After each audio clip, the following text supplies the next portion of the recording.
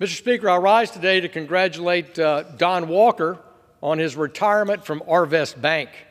Don spent the past four decades in the banking industry, with most of that spent making major strategic decisions at Arvest, including helping their own uh, craft their own corporate name, Arvest. During his tenure, he served as president and CEO of their expansions business in Tulsa, Oklahoma, which became one of their largest and most successful markets in their company. Don is known for not only being a great business leader and banker, but for being a friend to many in Northwest Arkansas and throughout our state. I applaud my friend Don Walker on his impressive career and wish him a very happy retirement.